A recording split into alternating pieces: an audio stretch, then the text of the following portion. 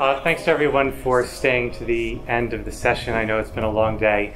I thought in retrospect I should have put up like a video of Usain Bolt, yeah, winning the 100 meter final or something. But um, alas, I didn't. So if you need to stand up and stretch or something, yeah, in order to get the mental juices flowing again, that's fine. Um, just don't leave the room. So my talk today, uh, as the title says, is about um, place deposits um, interpreted as a building material, uh, so part of the fabric of constructing a building uh, in early medieval Europe. Deliberate burials of animals, vessels, and other artifacts um, consisting of material that appears to have been specially selected, exceptionally treated, and carefully positioned are persistent, if rare, discoveries in and around buildings throughout early medieval Europe. Um, and these exhibit long term regional patterns in terms of composition and context. Um, ones that are associated with buildings are sometimes called foundation deposits, and such discoveries have traditionally been interpreted intuitively as blessings upon a new home, charms to ward off evil, or offerings to supernatural power.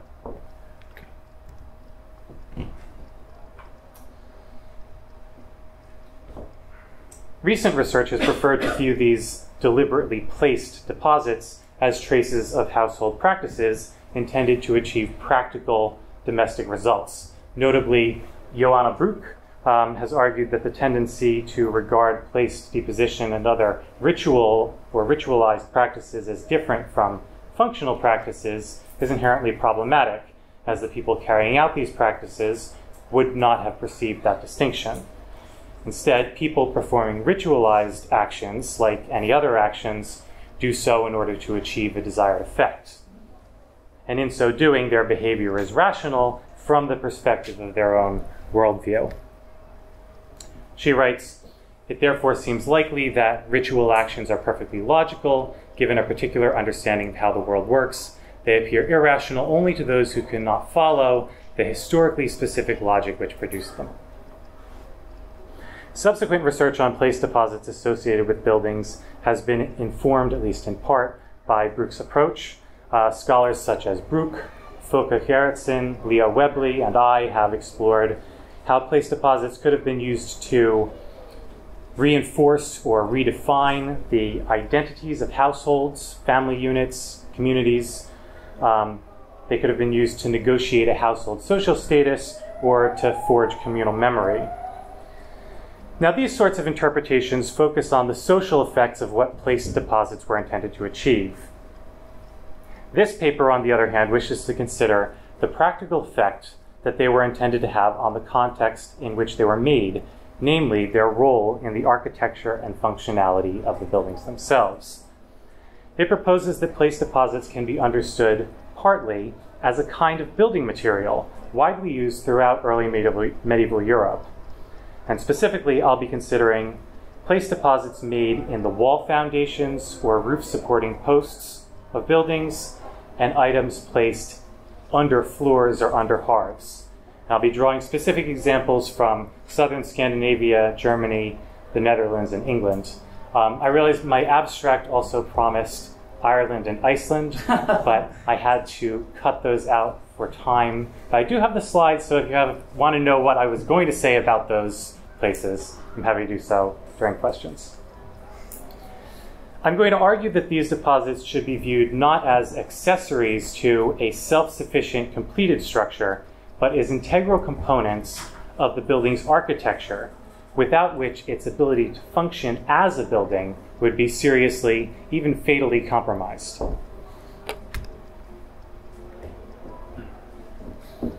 So I'll begin by discussing place deposits in the foundations of buildings. And on the left-hand side, you have um, the Iron Age, late Iron Age settlement at Surbital on the island of Öland off the southern, off the coast of southern Sweden. Um, in the picture, um, which you, you probably can't make it out at all, but there are sheep bones um, inserted into the stone packing of a roof-bearing post in the first phase of the house. They're mostly leg bones, and they were apparently deposited still bearing the meat on them. And similar deposits have been found in two other roof bearing post holes of that same structure. And then another example um, on the bottom left, on the bottom right, um, comes from England, where a horse skull and associated bones, probably from the same animal, were found in an internal doorway in a 7th century timber hall at Brandon in Suffolk. And That's the location of the, of the horse bones. This building was interpreted as a Christian church, and the horse remains lay in uh, gray sand fill at the bottom of the post pit, and they appear to, be, appear to have been present while the building was in use. Unfortunately, many of the horse bones were not were excavated before the nature of this deposit was recognized, so we don't know whether any of them were articulated. Um, they have been interpreted by the excavator as a foundation deposit associated with superstition or magic.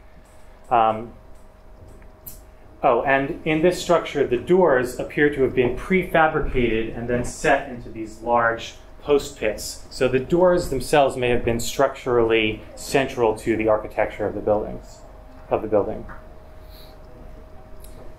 These foundation deposits might indeed be associated with superstition or magic, but to what end? So, as traditionally suggested for such deposits, they could have been offerings to a deity, or they could have had a social effect, as suggested by more recent scholars of place deposits.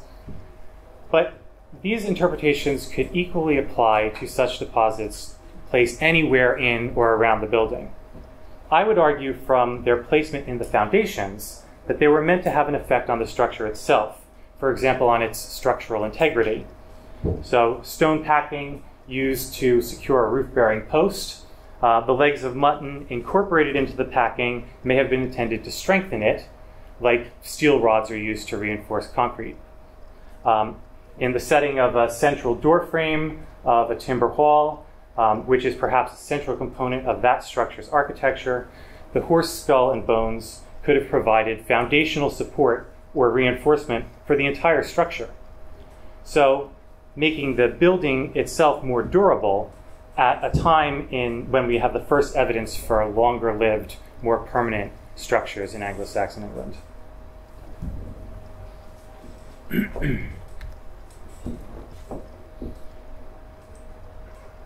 And there are many um, comparisons for this sort of activity outside of the early medieval period uh, for deposits built into the fabric of houses.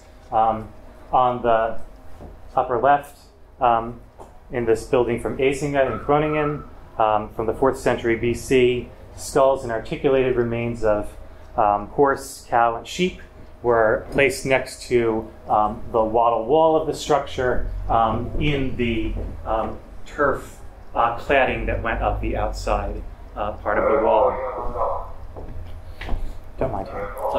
Um, and then the bottom right, um, 14th century building at Trig Lane in London, sheep jaw sheep jawbones were placed um, into the timber foundations on, on either side of that timber. So when place deposits are actually put incorporated into the fabric of the building like that, it's easy to imagine them acting as a building material. And such an interpretation does not preclude the idea, for example, that they were offerings to a deity. Um, in other words, we can speculate on the rationale for why the deposit was thought to have worked. But it seems probable that its purpose related to the building's structural integrity.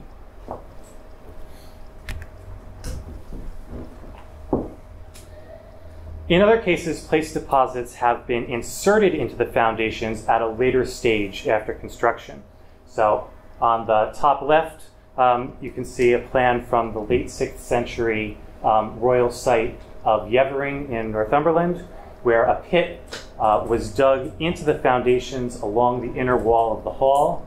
Um, that's the part labeled bone stack, uh, because it was filled with a stack of cattle skulls that actually rose up above the surface of the ground and was sort of leaning against the wall of the structure. It's thought that these um, cattle skulls were the remains from ritual feasting. Um, at Gudme on uh, Funen, another site with ritual associations, a hoard of bracteates and a spiral ring was found in one roof bearing post of um, of one of the smaller buildings there. And that could have been inserted while the building was still standing. Um, and then there's a similar deposit at Gudme in another roof bearing postal of gold rings and a silver face. So, if place deposits set into the foundations of buildings at the time of their construction were intended to strengthen the buildings, then a hoard of cattle skulls or a hoard of bracteates placed while the buildings were still standing could have been intended to reinforce or to repair the structures, just as old posts um, can be replaced with newer, stronger timbers.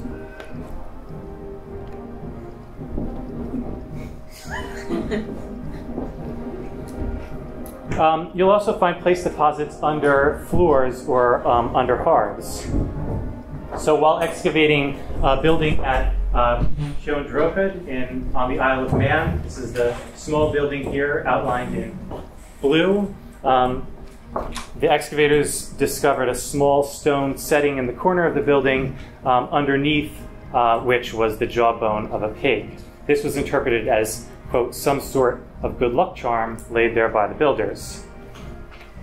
And I don't have a picture of, of this particular one, but in the eastern end of a long house at Huleslev in West Jutland was discovered a pit containing five vessels, three large pots, a smaller pot, and a cup, all of them complete and upside down, and underneath one of the larger pots was an iron object, possibly a hook.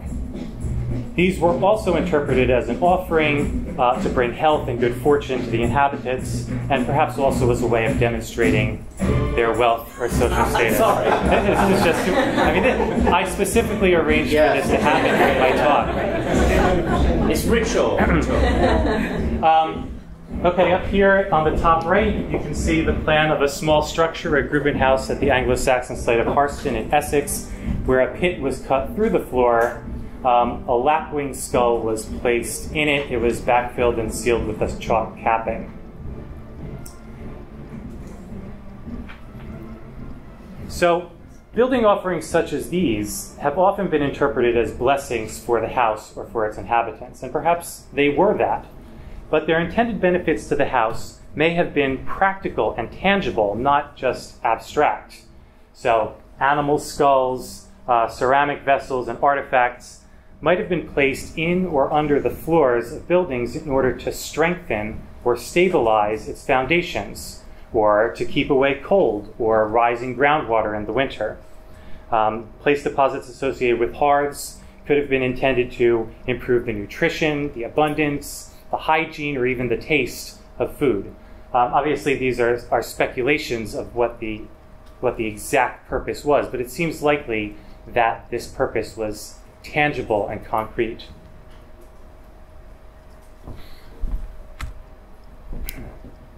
So we should follow Bruck's advice and not just recognize these deposits as the remains of ritual practices, but consider what they were meant to do. Recent scholarship has suggested that, that, that the practices may have been used to reinforce social identity, to negotiate status, or to forge memory. And that may be the case, but their association with buildings also cannot be ignored. It seems clear um, that their function related to the building like any other building material. And beyond that, we can speculate as to whether they were apotropaic, whether they were blessings or curses. A late antique text by um, Sextus Placidus recommends incorporating pieces of a badger's liver into the foundations of a house in order to protect it from fire and pestilence. The badger's liver is as much a building technique as using asbestos or fiberglass insulation is in modern times. Sorry? Two minutes. Okay, thanks. Um, and similarly, similarly, there's no reason why this interpretation should be at odds with other social effects that might be going on, like negotiating status or forging memory.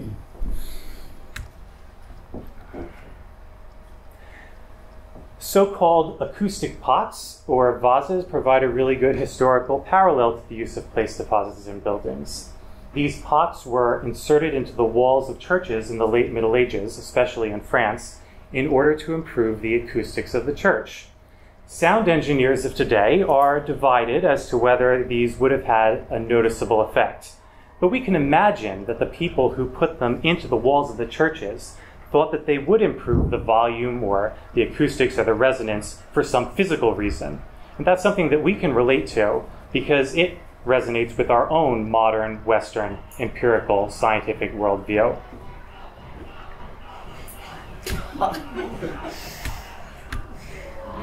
Um, another parallel from almost within living memory is provided by the installation of horse skulls under the floors, um, which, as you can read from the quotes, I'm not going to read them out, were, was also done for acoustic purposes, made the fiddle go better if there were horse skulls under the floor of a pub. So, compared to the acoustic pots in the walls of the church, it's a little bit more difficult to imagine a scientific justification for the belief that screwing horses' heads to the underside of a floor would improve the acoustics of a room. But that's, of course, exactly the point that Bruck was making in her paper. Just because we can't understand the rationales for performing these practices does not mean that they were not done for practical reasons. And the same can be said for place deposits incorporated into the fabric of medieval buildings. Um, in the medieval worldview, powers that we would now deem superstitious or supernatural were thought to be just as physical as sound waves seem to us today.